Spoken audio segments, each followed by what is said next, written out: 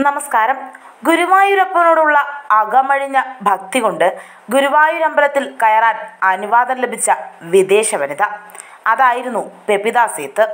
ദിവസങ്ങളോളം ഗുരുവായൂരപ്പന്റെ ഒരു ദർശനത്തിനായി ഗോപുരവാതിൽക്കൽ കാത്തിരുന്ന പെപിത സേത്തിന് മുൻപിൽ ക്ഷേത്രാധികാരികളുടെ വിലക്ക് വെണ്ണ പോലൊരുക്കി ഇല്ലാതെയായി. ഒരു വിദേശ വനിതയുടെ നിഷ്കാമമായ അചഞ്ചലമായ ഭക്തിക്ക് മുൻപിൽ ക്ഷേത്രാചാരങ്ങൾ തിരുത്തി എഴുതപ്പെട്ട കഥ കാര്യസാധ്യങ്ങൾക്കായി മാത്രമായി ഭഗവത് ദർശനം കാക്ഷിക്കുന്ന നമ്മൾ ഓരോരുത്തരും അറിഞ്ഞിരിക്കണം. ക്ഷേത്ര ആചാരാനുഷ്ഠാനങ്ങളെക്കുറിച്ച് ഐതിഹ്യങ്ങളെക്കുറിച്ച് ഒക്കെ നീണ്ട ഏഴ് വർഷങ്ങൾ ഗവേഷണം നടത്തിയ ശേഷം heaven on earth the universe of Kerala's Guruvayur temple എന്ന പുസ്തകം അവർ എഴുതി. ഭൂമിയിലെ സ്വർഗാന്വേഷികളെ നിങ്ങൾ ഗുരുവായൂരിലെത്തിയാൽ നിങ്ങളുടെ അന്വേഷണം നിർത്തിയേക്കൂ. ഭൂമിയിലൊരു സ്വർഗമുണ്ടെങ്കിൽ അത് ഇതാണ്.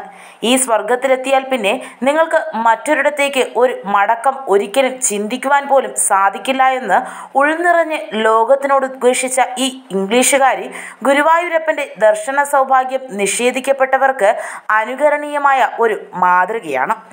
ഒരു ഫോട്ടോഗ്രാഫറും ചലച്ചിത്ര നിർമ്മാതാവുമായ പെബിത സെയ്ത്തിന് ഇന്ത്യയോടുള്ള അഭിനിവേശം തുടങ്ങുന്നത് ഇന്ത്യയിലെ ബ്രിട്ടീഷ് സൈന്യത്തിൽ അംഗമായിരുന്ന മുത്തച്ഛൻ ഇന്ത്യയെക്കുറിച്ച് എഴുതിയ ഡയറി കുറിപ്പുകൾ വായിക്കുന്നതോടെയാണ്. അങ്ങനെ അവർ ആയിരത്തി തൊള്ളായിരത്തി എഴുപതിൽ ഇരുപത്തിയേഴാം വയസ്സിൽ കൊൽക്കത്തയിലെത്തി. പിന്നീട് ആനകളോടുള്ള കമ്പം കേരളത്തിന്റെ ഗ്രാമഭംഗി നാടൻ കലകൾ ഇതെല്ലാം അവരെ കേരളത്തോടും കൂടുതൽ അടുപ്പിച്ചു. അങ്ങനെ കേരളത്തിലെത്തി തെയ്യത്തെക്കുറിച്ച് നിരവധി ഗവേഷണങ്ങളും നടത്തി. ആയിരത്തി തൊള്ളായിരത്തി തൊണ്ണൂറ്റിനാലിൽ ദ സ്പിരിറ്റ് ലാൻഡ് എന്ന പുസ്തകം എഴുതി. തെയ്യത്തെക്കുറിച്ച് ആധികാരികമായ വസ്തുതകളടങ്ങിയ ഒരു പുസ്തകത്തിന്റെ പണിപ്പുരയിലായി. ഗുരുവായൂരിലെത്തിയ ശേഷം അവർ ആദ്യമെടുത്ത ഗുരുവായൂർ കേശവന്റെ ചിത്രമാണ് ഇന്നും ക്ഷേത്രത്തിന് മുൻപിൽ ഭക്തരെ സ്വാഗതം ചെയ്യുന്നത്.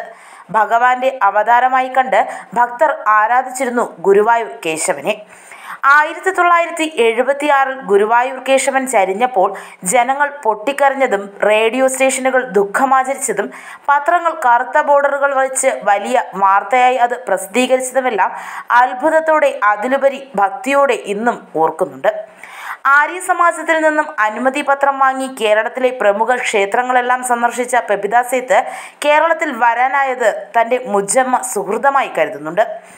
ഇരുന്നൂറ്റി പതിനഞ്ച് വർണചിത്രങ്ങളടങ്ങിയ ഹെവൻ ഓൺ എർത്ത് എന്ന പുസ്തകം ക്ഷേത്രത്തെക്കുറിച്ച് രചിക്കപ്പെട്ട ഗ്രന്ഥങ്ങളിൽ വളരെ ആധികാരികം എന്ന് വിശേഷിക്കപ്പെടാവുന്ന ഒന്നാണ്.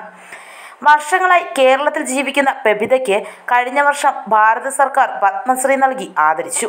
തൃശൂരിൽ വർഷങ്ങളായി ജീവിക്കുന്ന കേരളത്തിലെ ക്ഷേത്ര ആചാരങ്ങളെയും അനുഷ്ഠാന കലകളെയും കുറിച്ച് പഠിക്കാനും എഴുതാനും ജീവിതം ഒഴിഞ്ഞുവെച്ച പെബിദാസ് എത്തുന്ന അനുഗ്രഹീതയായ ഈ ഗുരുവായൂരപ്പന്റെ ഭക്തയ്ക്ക് ഭഗവത് കടാക്ഷങ്ങളും അനുഗ്രഹങ്ങളും ഇനിയും ഉണ്ടാകും. Web desk തത്വമീനുസ്